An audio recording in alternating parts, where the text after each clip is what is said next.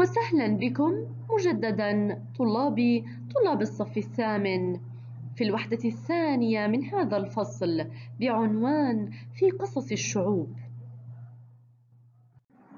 وفي بداية أسبوع جديد مملوء بالتفاؤل والأمل.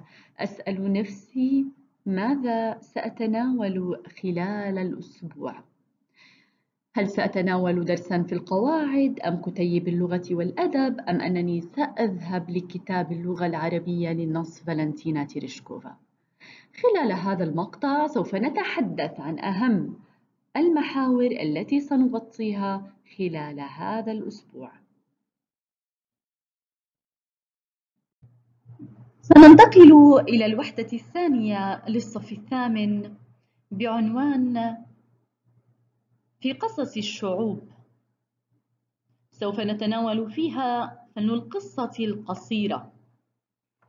وسوف نتحدث عن القصة القصيرة بالمجمل وأنها عمل أدبي يصور حادثة من حوادث الحياة أو عدة حوادث مترابطة.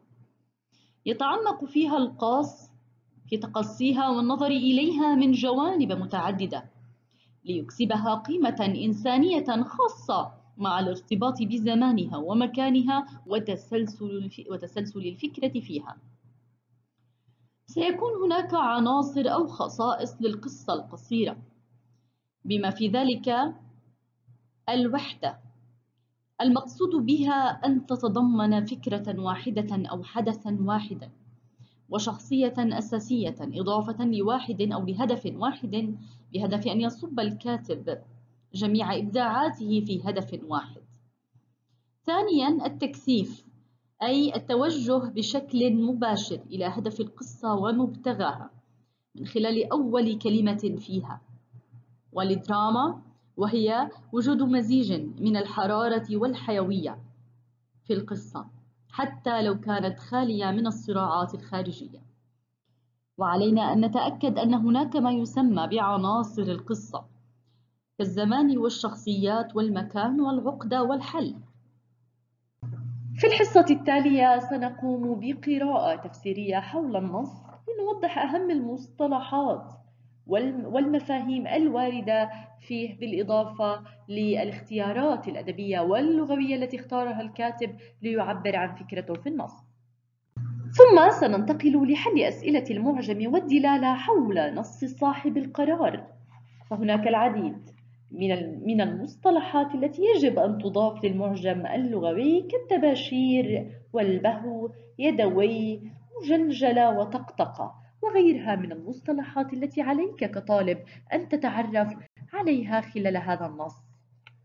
ثم سننتقل مباشرة لحل أسئلة الفهم والتحليل حول نص صاحب القرار.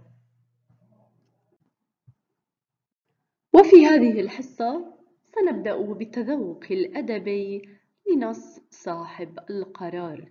لنتعرف ونتذكر الصور الفنية والاستعارة وكذلك لنتعرف أكثر إلى مفهوم الطباق.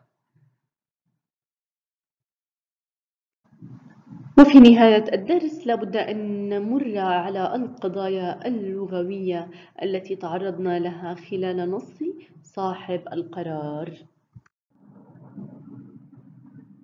وهكذا عزيزي الطالب نكون قد أنهينا الأسبوع بما, وح بما يحويه من مادة في القواعد حول الفعل المضارع ثم الانتقال إلى كتيب اللغة والأدب. فن المناظرة نص مناظرة بين العالم والشاعر.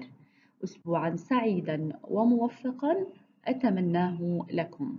إلى اللقاء.